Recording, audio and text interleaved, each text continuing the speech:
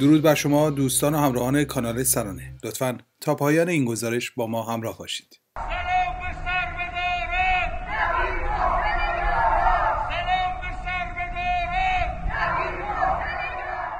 سلام به سربداران. نوید محسن و یاران. یکی از شعارهای این روزهای مردم ایران است. مردمی که به خبر اعدام محسن شکاری یکی از معترضان بازداشتی و صدور احکام اعدام برای چند معترض دیگر با خشم و نفرت واکنش نشان دادند. کرج 20 آذر ماه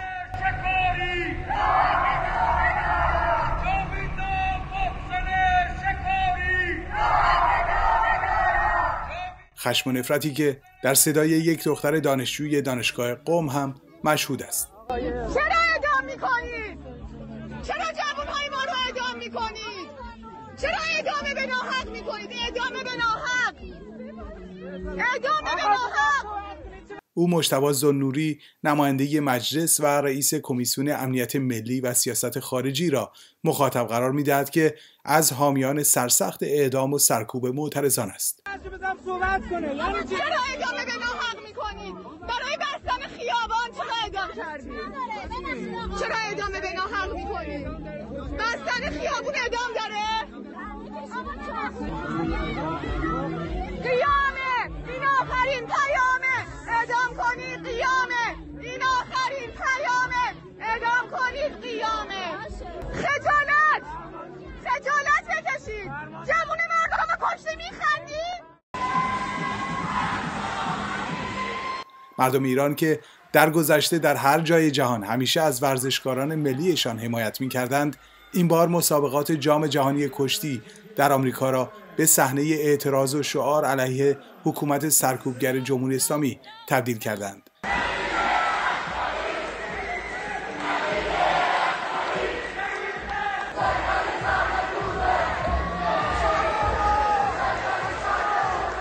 کشتار و اعدام مردم و صدور حکم اعدام برای معترضان به اتهام واهی محاربه صدای خودی های نظام را هم درآورده. اشاره می‌کنم وسط بحثم به همین کلیپی که وجود داره برای اینکه عرائزی که ما تقدیم کردیم در فضای مجازی دوستان عنایت کنن. همین کلیپ رو توجه کنید. محسن برهانی استاد حقوق دانشگاه تهران در جلسه ای در دانشگاه امام صادق با اشاره به اعترافات اجباری محسن شکاری می‌گوید هیچ یک از اعترافات او مستاق محاربه نیست و او نباید اعدام می‌شد. گفت در قلاف گرفته بود چاقو رو. در قلاف گرفته بود نسبت به مردم. تازه شاهد این رو میگه. خودش این رو نمیگه. میگه کلا پرشانم بود. معمور و رفیقم گفت بیا ببندیم معمور بیا بزنیم. علی ترا پشت موتور برایش من گفت بیا بریم یه خیابونی رو ببندیم ولی از معمور اومد جلو بگیریم بزنیم. گفتم باش معموری می آید چاقو رو می‌کشم ضربه رو وارد می‌کنم. اگر معمور آمد این ضربه وارد کردن من برای اخافه کیست؟ برای ترساندن مردم است یا مجروح کردن معمور اگر برای ترسوندن مردم است من چرا رفتارم رو نسبت مردم از باب تشکیل سرا نشون ندادم علاوه بر این معمور رو زدم و در رفتم برای این که دوستان حالا فرمودن مجری محترم که ما اطلاعاتمون از پرونده غیر از این کلیپ نیست ضرب المثلی است. میفرماد لو کان لبان تردید نکنید. اگر سر سوزن مطلب دیگری به نفع محاربه وجود داشت در این کلیپ پخش شد. تمام کلام همینه. هیچ چیز دیگری نیست. هیچ امر دیگه وجود نداره. در این کلیپ چی میگه؟ میگه چاقو رو کشیدم زدم و در رفتم. اگر می‌خوام اخافه ناس کنم باید به نحوی سلاح بکشم. که مردم ببینند و بترسند و من به هدفم برسم. نه اینکه چاقو رو نگه دارم به معمور ضربه بزنن و درن مرتزا مقتدایی رئیس سابق دیوان عالی کشور و دادستان سابق کل کشور هم روز یکشنبه در گفتگو با خبرگزاری ایلنا با زیر سوال بردن احکام اعدام صادر شده توسط قوه قضاییه جمهوری اسلامی گفته وقتی یک نفر صرفا با یک نفر درگیر می شود این فرد محارب نیست. مقتدایی افسوده اگر محارب کسی را بکشد بله حکمش اعدام است. اما اگر فقط تهدید کند و بترساند اگرچه حکم محارب هم داشته باشد حکم اعدام ندارد. یعنی محاربی است که اعدام ندارد. اظهارات مقتدایی رئیس سابق دیوان عالی کشور و دادستان سابق کل کشور نشان می‌دهد شکاف در درون نظام جمهوری اسلامی به سرعت در حال افزایش است و هرچقدر نظام بیشتر و بیشتر به جنایت و کشتار مردم ادامه می‌دهد تعداد بیشتری از خودیها به آن پشت می‌کنند.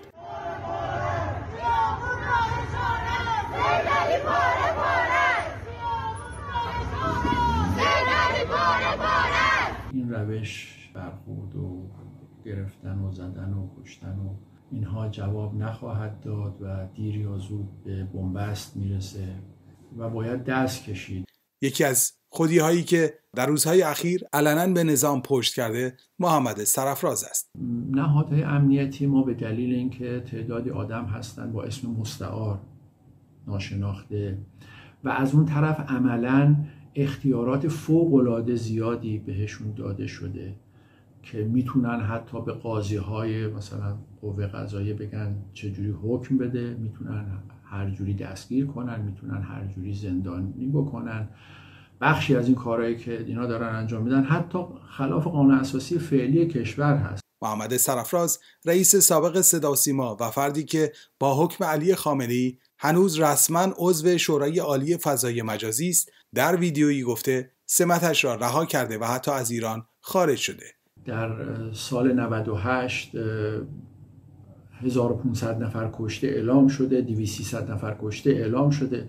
اما حتی یک مورد این نظام امنیتی ما نیامده بگه آره ما زدیم کشتیم نمی‌دونم اینجوری بوده اشتباه کردیم یا هیچ چیزی رو به عهده نمی‌گیرن. سرفراز ضمن انتقاد از سرکوب و کشتار مردم گفته ممکن است به خاطر انتقاداتش جانش به خطر بیفتد ولی او وصیت نامش را نوشته و ترسی از پیامد انتقاداتش ندارد. من هم خودم در شرایطی قرار دارم که می‌دونم با زدن این حرف ممکنه هر اتفاقی بیفته هر نوع برخوردی با هم بشه. قبلا هم گفتم وصیت نامم نوشتم و اعلام کردم هم خودم هم خانم میرگلی خان. آمادگی داریم که هر اتفاقی قرار برامون بیفته بیفته و ما در واقع با خدا معامله کردیم و هیچ نگرانی از این بابت نداریم. سرفراز از دیگر مسئولان نظام جمهوری اسلامی هم خواسته تا از سمتشان کنارگیری کنند وگرنه آنها هم در جنایات حکومت جمهوری اسلامی شریک خواهند بود. در موقعیتی هستیم که اینها باید انتخاب کنند مسئولین ارشد کشور مسئولین دستگاه های مختلف. یا باید به این ظلم ها و بیعدالتی ها و عدم کارکرد درست قانونی دستگاه ها به شکل مستقل ادامه بدن و شریک این ظلم و بیعدالتی و بیقانونی باشن و شریک جرم محسوب میشن. یا اینکه باید بیان و استعفا بدن کنار بکشن. این دیگه حداقل کاریه که می‌تونن بکنن. استعفا بدن و کنار بکشن. من این کار کردم. سرفراز با زیر سوال بردن تحلیل های علی خامنه ای مبنی بر سیستماتیک نبودن فساد در کشور گفته با توجه به نفوذ نهادهای امنیتی بر تمام امور کشور باید گفت فساد در جمهوری اسلامی سیستماتیک است. از اون طرف وقتی سیستم و حالت امنیتی می‌کنن تمام نهادهای دیگه از کارکرد خودشون خارج میشن. یعنی رسانه ملی یا صدا و سیما تحت اختیار اینها قرار می‌گیره چی چجوری خبر بده چجوری چه چیزی رو پخش بکنه چجوری چه اعترافی رو پخش بکنه. و چه روایتی رو به عنوان روایت صحیح بگن. این باعث شده که در واقع یه بیاعتمادی در جامعه شکل گرفته و که من اسمشو می‌ذارم فساد سیستماتیک که اینها همش بعدها برای یعنی این نهادهای قدرت برای حفظ موقعیت خودشون دیگه کم کم مجبور میشن دروغ سیستماتیک هم بگن. سرفراز تحلیل های علی خامنی درباره فضای مجازی را هم زیر سوال برده و با تعنه و تمسخر گفته این حرف مانند آن است که بگوییم یک اتوبان عامل دشمن است. دیگه مثل نقل و نبات معمول سازمانسیا دارن درست می‌کنن این دستگاه امنیتی که متاسفانه دیگه کار به جای رسیده که کسی باور نمی‌کنه این نوع سناریو سازی ها رو. بگن اینها همه یا عامل دشمنن یا فریب خورده دشمنن. تمام این بساطی هم که در کشور و جامعه ما را افتاده حاصل چیزی به نام فضای مجازی. انگار مثلا فضای مجازی چی هست؟ چه موجودی؟ فضای مجازی یه کارکردی داره یه تعداد رسانه شبکه های اجتماعی اینها داخلشن. اون کسانی که محتوا تولید می‌کنند این وسط هستن. خود فضای مجازی رو مثل اینکه یه اتوبان بگیم عامل دشمن این اتوبانی که توش ماشینا دارن راه میرن. این همه بدبختی ما مال این اتوبانه که توش ماشین داره راه میره. فضای مجازی رو کردن دشمن. همه اینایی هم که دارن اعتراض می‌کنن شدن فریق خورده و عامل دشمن البته خب یه کارهای دیگه هم می‌کنن. گروه هایی مثل مجاهدین خلق و سازمان منافقین و کسان دیگه ای که ارازل و اوباش که سازماندهی شدند و اینا رو سازماندهی کردن اینا هم میان یه کارایی می‌کنن و در واقع اینا هم هست. بهانه میدن که ببینید دارن خشونت طلبی می‌کنن. ولی واقعیتش اینه که این جوان هایی که تو دانشگاه ها تو مدارس هستن به نظر من اصلا اهل این کارا نیستن و اینا یه سری خواسته هایی دارن.